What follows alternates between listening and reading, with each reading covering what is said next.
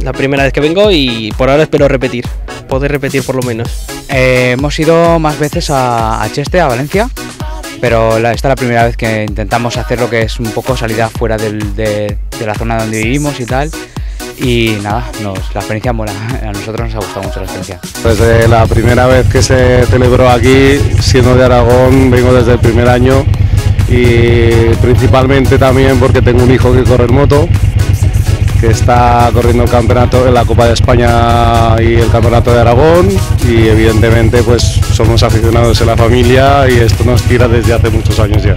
A ver si suben a podio por primera vez, nos haría mucha ilusión.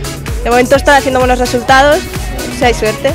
Sí, el 93 de, de, de Mar Márquez y el 26 de Pedro Sá. Aquí haciendo un poquito de... Mientras que haya piques, que ganen mejor.